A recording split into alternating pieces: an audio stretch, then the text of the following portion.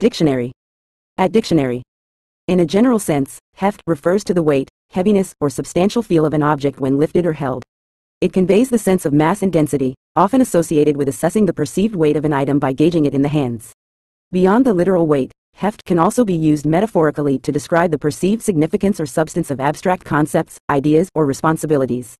The term captures the tangible and sometimes subjective sense of the solidity or importance attributed to both physical and conceptual elements in various contexts.